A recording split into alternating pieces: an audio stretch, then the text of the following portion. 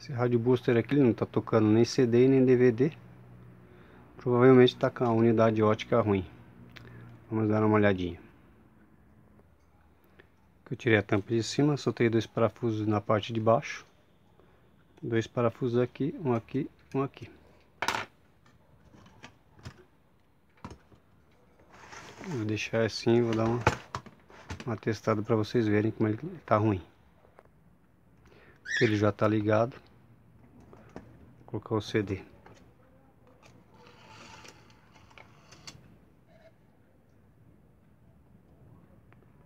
Faz o barulho, a lente faz um barulhinho. Ela tenta ler o CD, mas não está lendo.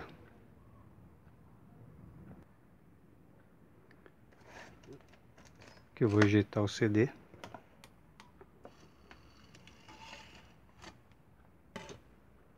Vamos ver a parte de baixo aqui. Que eu já virei ele. Soltei esse conector aqui de baixo para poder virar. O rádio está desligado. Esse modelo booster é um pouco mais antigo, né? A placa dele aqui lá na lateral. Tirar esse flatzinho aqui que é do... Empurra essas duas garrinhas aqui para cá. Tem uma travinha aqui, você empurra, empurra aqui, solta esse flat. Este aqui também é a mesma coisa, né? As travinhas laterais aqui você puxa, você puxa, solta esse outro flat. Aqui a gente tem três parafusos aqui, parafusinho aqui, outro parafuso aqui, pequenininho, quase que nem dá pra ver, e um outro aqui. Vou soltar os três e já vou tirar ela. Soltei os três parafusos, a gente vai erguer ela aqui.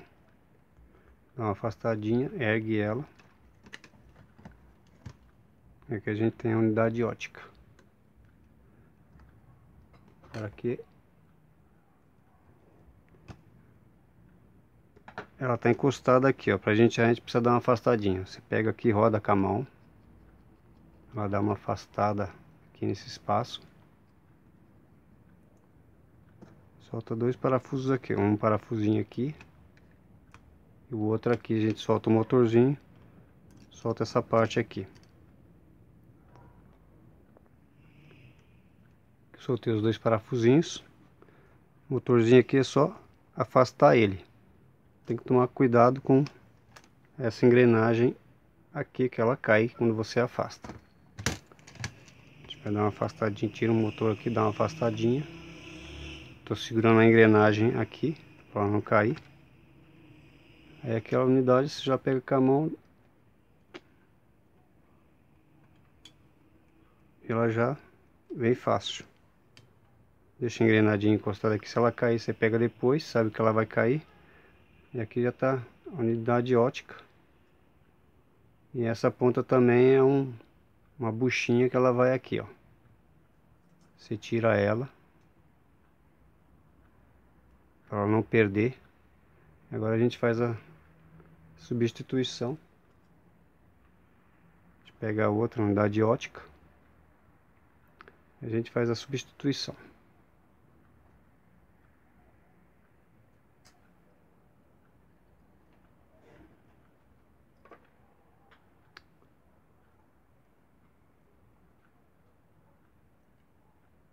Que eu já peguei a outra.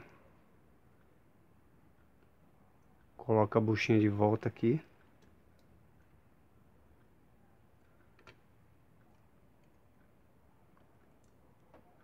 A buchinha tem um... Ela encaixa aqui, ó. Tem uma molinha.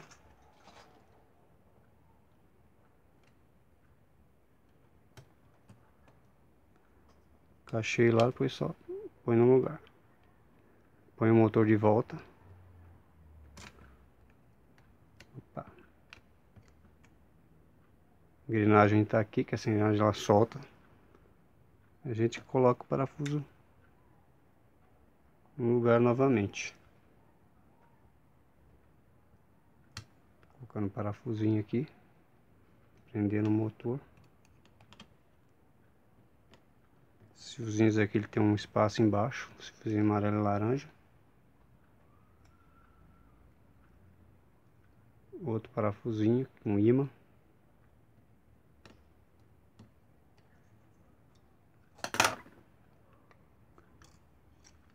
Prontinho, a unidade já está no lugar. Esse espaço aqui, quando eu colocar o CD, ela, ela volta para cá, ele é normal.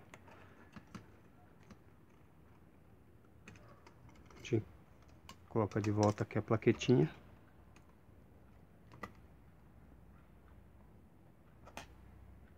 Agora eu vou parafusar ela e vou encaixar os, os. A gente já vai dar uma testada. Aqui eu só coloquei um parafuso para a gente testar, né? Senão a gente tem que tirar tudo de novo os parafusos. Só coloco um aqui porque desse lado aqui ele tem uma chavinha do outro lado. Quando a mecânica o CD desce, tem uma chavinha que a chavinha é empurrada aqui deste lado aqui. A gente vai colocar aqui unidade ótica. Você vê que é fácil, colocar a fitinha aqui, empurra.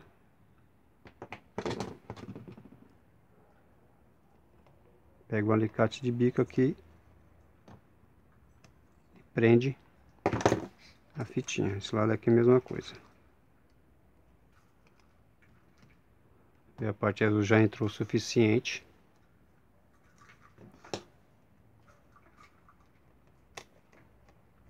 A gente dá uma apertadinha aqui, lá de lá lado de cá.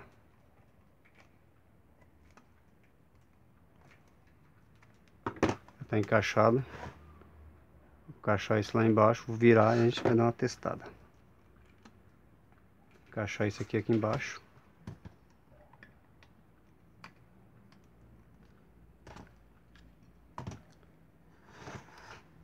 Prontinho. A gente liga ele.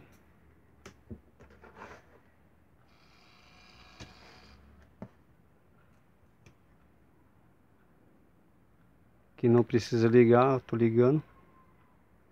Só de colocar o CD ele já, já liga sozinho. Pegar um CD.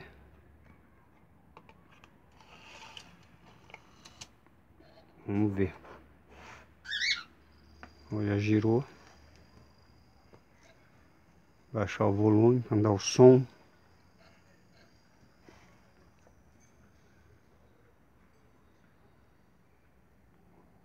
Belezinha. Aperto play.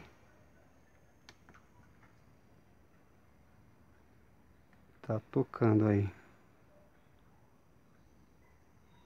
Não é difícil trocar essa unidade ótica. Essa mecânica aqui ela é facinho. E a outra unidade ótica aqui, ó. Você pode aproveitar. Joga. Se for jogar fora, você pode aproveitar uns iminhos que tem aqui, ó. Tem dois ímãs aqui que eles são bem fortes. Os minhas aqui tem uma bobininha que é para fazer o. Ela faz um, um movimento para cima e para baixo para focar. Não se esqueça de tirar o imã antes de jogar fora. Dá para colar alguma coisa na geladeira, fazer muitas coisas com ele. Agora que o aparelho já está funcionando, colocar ele de volta no lugar e vou fechar. Eu já virei o rádio, prende na parte de cima. Esse aqui tem dois parafusinhos que ficam aqui, ó. Tem dois furinhos aqui, um aqui e outro aqui. Vou colocar o parafusinho. Apertar ele. Pego outro parafuso com um imã aqui na ponta da chave para facilitar.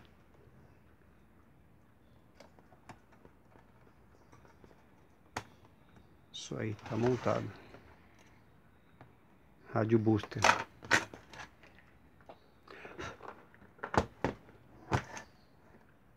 Terminar de fechar e testar. Aqui já fechei, já coloquei a tampa de cima, a tampa de baixo. Liguei a fonte, liguei nos 12 volts. Dá uma ligadinha aqui.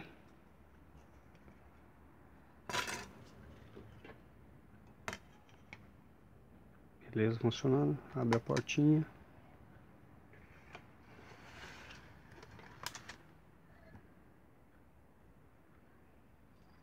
Vamos ver o bichinho tocar.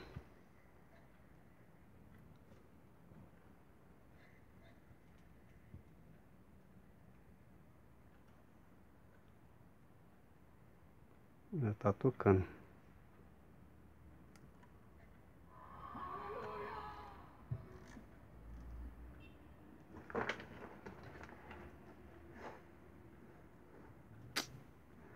Legal. Você viu que não é muito difícil. Essa mecânica ela é fácil de trocar. Se tiver algum rádio aí, você vê que provavelmente pode ser o motor também, né? Quem sabe no próximo rádio vou ensinar a testar o motor também. Das vezes é o motor que está ruim. Não é o problema da unidade ótica, é o motor que gira o CD. Mas nesse caso aqui foi a unidade ótica. Certo? Obrigado a todos e até mais.